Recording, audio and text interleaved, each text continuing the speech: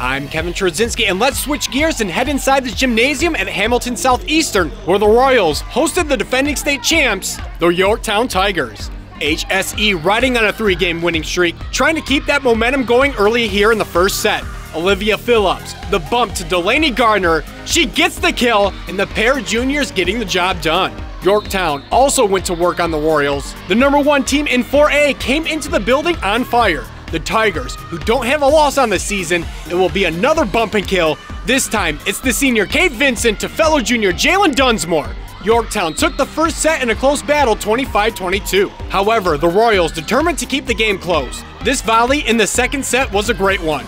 The Tigers can't nip the bump and kill from Emily and Abby Weber. The point for HSE, senior Abby had 11 kills on the night, but the Tigers show why they are number one.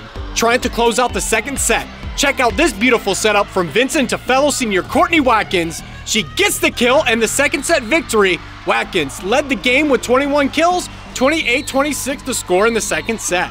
Yorktown would not look back as they cruise in the third set. More from Vincent and Dunsmore. Senior to junior, Dunsmore with the kill. Vincent led the game with 46 assists. And finally, to the point that closed this one out. Vincent, a huge part of this team, standing tall in front of the net, ball game. Yorktown improves to 13 0 this season after defeating HSE in three straight sets.